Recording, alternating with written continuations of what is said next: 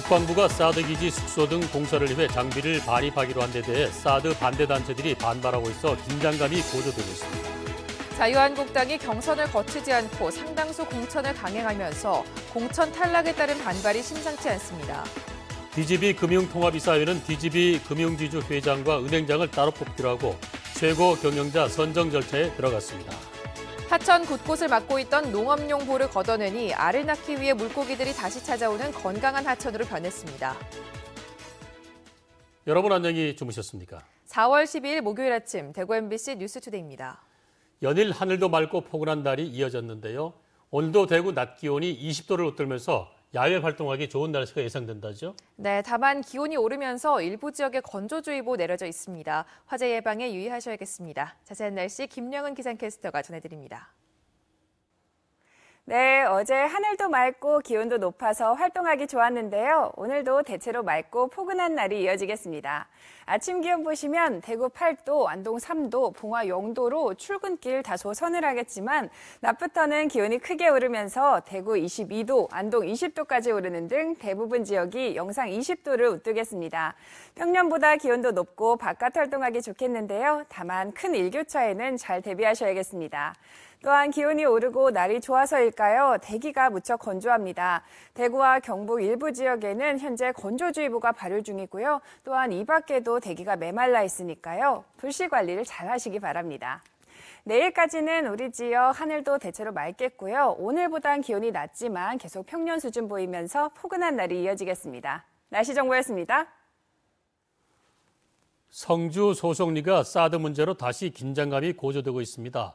국방부가 오늘 공사 장비 반입을 할 것으로 보이는 가운데 반대 단체들은 이를 막기로 해서 물리적 충돌이 우려됩니다. 박재현 기자의 보도입니다. 사드 반대 단체와 국방부가 공사 장비 반입을 두고 물밑 협상을 잇따라 벌였지만 입장차만 확인했습니다.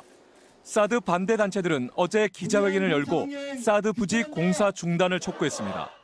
국방부가 기지 안에 미군 전용 식당과 숙소를 짓고 기름을 반입하려 한다며 장비 반입을 막겠다는 겁니다. 위군 출입을 위해 수천의 경찰을 동원하여 자국민을 또다시 짓밟을 계획을 한다는 것을 우리는 도저히 용납할 수가 없다. 국방부는 지붕이 새는 것을 고치고 오폐수 처리 시설을 갖추는 등 생활 환경 개선에 초점을 맞췄다고 밝혔습니다. 새벽에 기습적으로 장비 반입을 했던 지난해와는 달리 이번엔 낮 시간대에 장비를 반입하겠다는 원칙을 세운 것으로 알려졌습니다. 국방부는 트레일러 12대, 덤프트럭 8대, 미니버스 등 차량 30여 대를 사드 기지로 들여보낼 계획입니다. 경북지방경찰청은 병력 3천여 명을 오늘 오전부터 사드 기지 주변에 배치하기로 했습니다. 국방부가 경찰 지원을 받아 공사 장비 자재를 반입하기 시작하면 공사 기간 내내 주민과의 마찰이 불가피할 전망입니다. MBC 뉴스 박재영입니다. DGB 금융은 지주 회장과 은행장을 한 사람이 겸직하지 않도록 따로 뽑기로 했습니다. 큰 틀에서의 변화의 시작으로 볼 수 있겠지만은 은행장은 내부 출신으로 한정해 대구은행을 둘러싼 문제를 제대로 해결하겠냐는 걱정이 나옵니다. 김문혜 기자의 보도입니다. DGB 금융통합이사회가 최대 안건이었던 지주 회장과 대구 은행장은 겸임 대신 두 명을 선임해 따로 맡도록 했습니다. 이사회 관계자는 여러 의견을 수렴해 지배 구조를 분리하기로 했다고 밝혔습니다. 다만 경영 공백과 혼란을 줄이기 위해 회장과 행장을 동시에 선임하기로 결정했다고 말했습니다. DGB 금융지주 회장은 외부인도 맡을 수 있고 대구은행장은 DGB 금융지주와 대구은행 출신만 대상으로 했습니다. 앞으로 일주일 동안 공모를 한 뒤 세 차례에 걸쳐 서류 면접 심사를 거쳐 최종 후보를 선정합니다.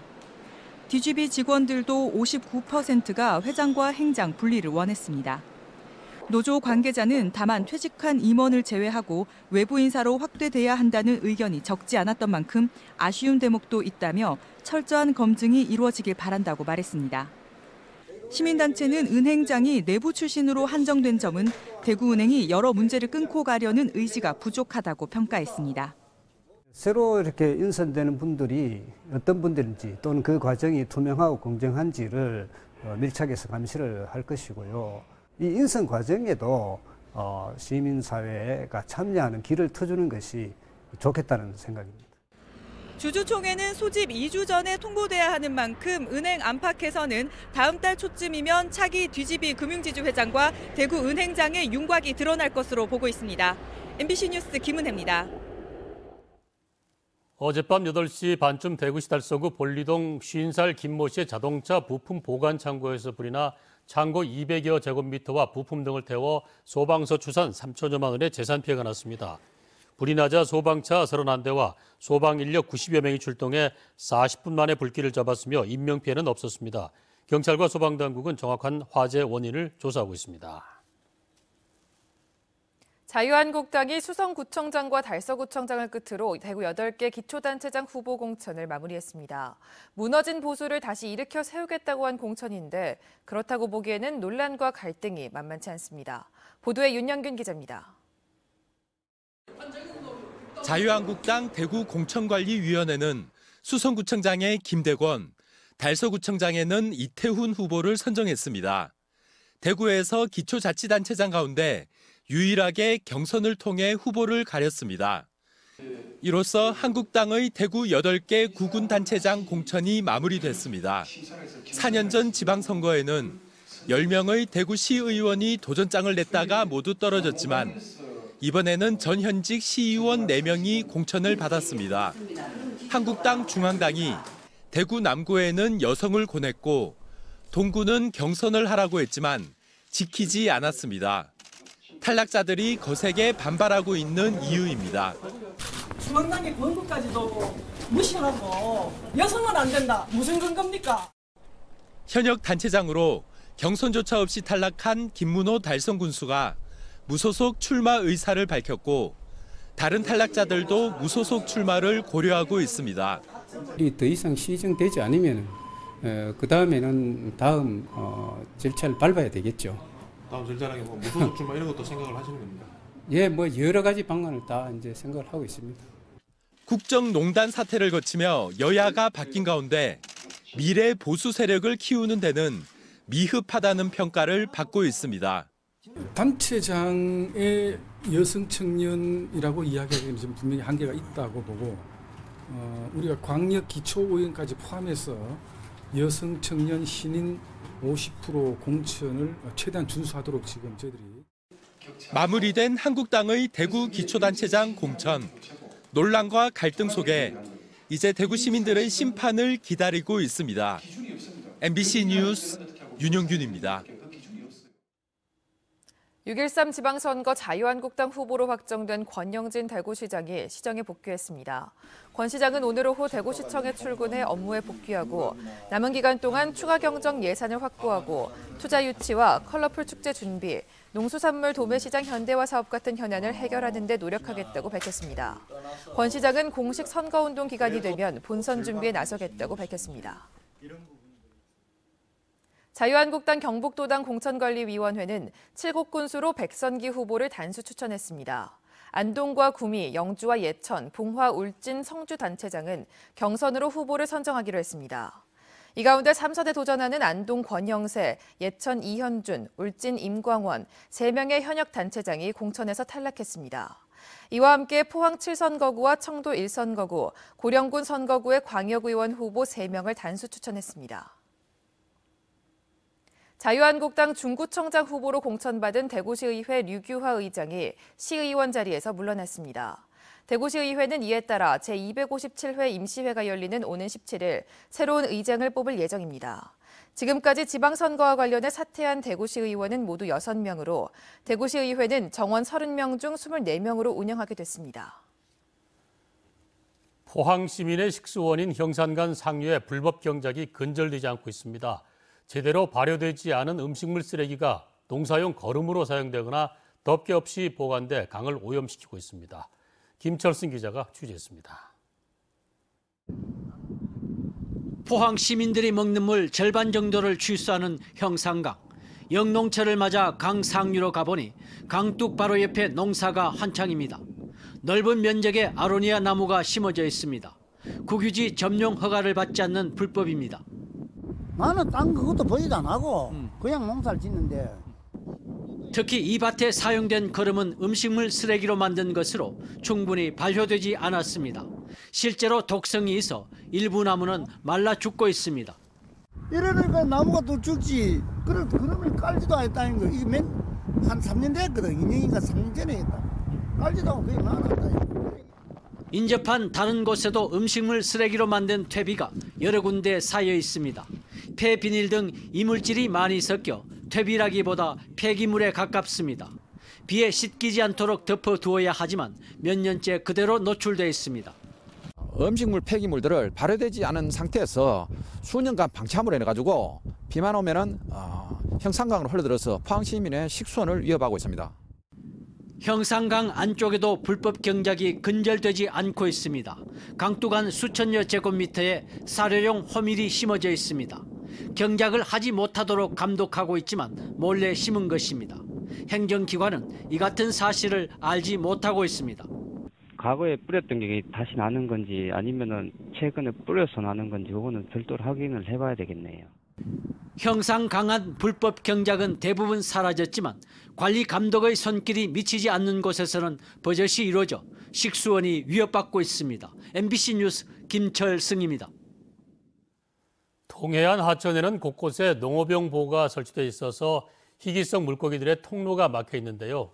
이 보를 걷어서 또 그리고 어도 즉 물고기 길을 새로 만들었더니 알을 낳기 위해서 물고기들이 다시 찾아오는 건강한 하천으로 변했습니다. 한기민 기자가 취재했습니다. 울진군 왕피천 유역의 하나인 울진읍 남대천. 누런 갈색을 띤 어른 팔뚝만한 황어 수백 마리가 물살을 거슬러 올라갑니다. 바다에서 일생을 보낸 뒤 자신이 태어난 강 상류 모래자갈 바닥에 알을 낳기 위해 찾아온 겁니다. 지난해까지만 해도 하천 곳곳에 설치된 농업용 보로 인해 통로가 막혀 물고기들이 중간에서 폐사하는 등 좀처럼 보기 힘든 모습이었습니다. 하지만 주민들의 건의로 생태하천 복원 사업이 추진되면서 건강한 모습을 되찾았습니다. 전에는 순산 근천이었습니다. 그래서 비만 좀 홍수가 오면은 고기 몇 마리 올라오는 고작이었는데 그 이후로 이제 우리가 도저히 이래서 안 되겠다. 어, 그래서 울진군은 584억 원을 들여 왕피천 등 7개 하천에 농업용 보를 철거하거나 어도, 즉 물고기 길을 별도로 설치했습니다. 또 생태계를 복원하기 위해 하천 바닥을 정비하고 퇴적된 오염물질을 제거해 왔습니다. 그래서 지금까지 한 580억의 규모로 해서 어, 지속적으로 투자를 해오니까 연어, 언어, 뭐 항어, 뱀장어 등 이제 희귀성 어종들이 다시 돌아오고 있습니다. 다음 달부터는 은어, 오는 가을에는 연어의 힘찬 몸짓을 이곳에서 볼 수 있을 것으로 기대됩니다. 울진군은 내년에는 부령계곡과 금강송 숲을 흐르는 광천을 대상으로 사업을 확대할 계획입니다.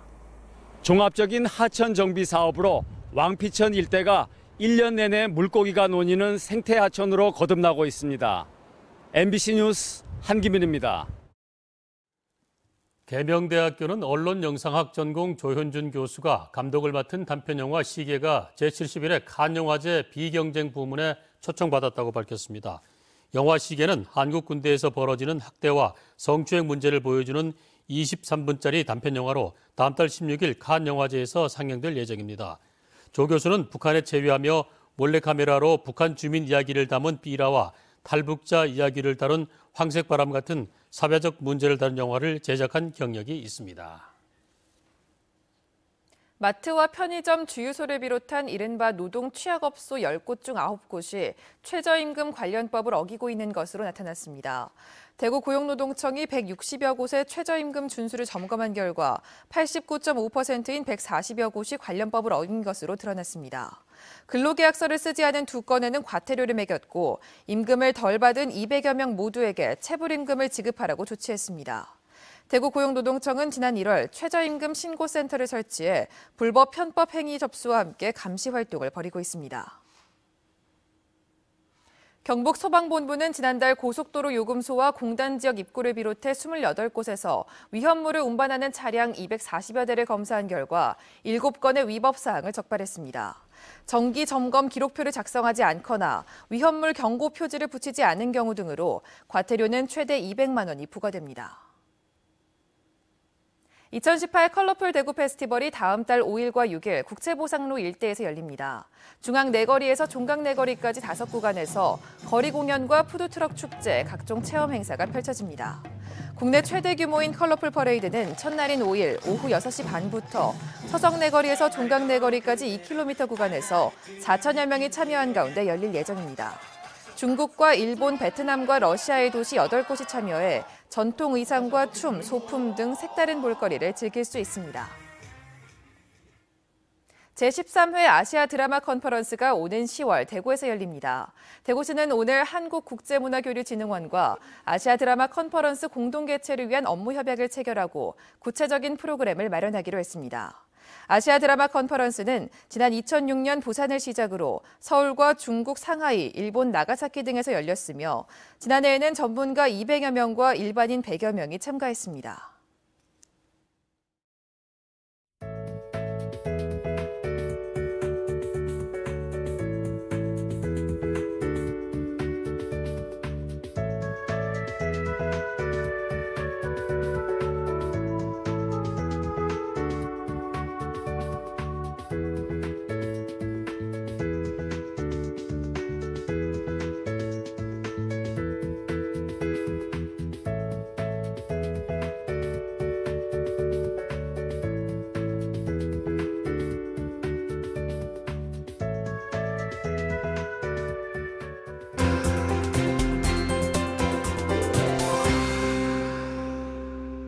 어제 하늘도 맑고 기온도 높아서 활동하기 좋았는데요. 오늘도 대체로 맑고 포근한 날이 이어지겠습니다. 아침 기온 보시면 대구 8도, 안동 3도, 봉화는 0도로 출근길 다소 서늘하지만 낮부터는 기온이 크게 오르면서 대구 22도, 안동 20도까지 오르는 등 대부분 지역이 영상 20도를 웃돌겠습니다. 평년보다 기온도 높고 바깥 활동하기 좋겠는데요. 다만 큰 일교차에는 잘 대비하셔야겠습니다. 또한 기온이 오르고 날이 좋아서일까요? 우리 지역 대기가 무척 건조합니다. 대구와 일부 지역에는 현재 건조주의보가 발효 중이고요. 이 밖에도 대기가 메말라 있습니다. 화재 사고가 일어나지 않도록 불씨 관리에 신경 쓰시기 바랍니다. 위성 영상 보시면 오늘은 서해상에 위치한 고기압의 영향을 받아 우리 지역 대체로 맑은 하늘이 이어지겠습니다. 자세한 지역별 날씨입니다. 대구 현재 기온 8도, 고령 3도로 출발합니다. 낮 기온은 대구 22도, 고령 23도로 오늘도 포근하겠습니다. 상주의 이 시각 기온 5도, 구미 6도로 시작하고요. 낮 최고 기온은 상주 21도, 구미 22도까지 오르겠습니다. 안동의 아침 기온 3도, 청송 1도로 출근길 다소 서늘합니다. 낮 기온은 안동과 청송 모두 20도로 일교차가 크겠습니다. 포항의 현재 기온 12도, 낮 기온 22도 예상되고요. 바다의 물결은 최고 3m로 일겠습니다. 내일까지는 우리 지역 하늘도 맑겠고요. 기온은 오늘보단 낮지만 계속 평년 수준 보이면서 포근한 날이 이어지겠습니다. 날씨 정보였습니다.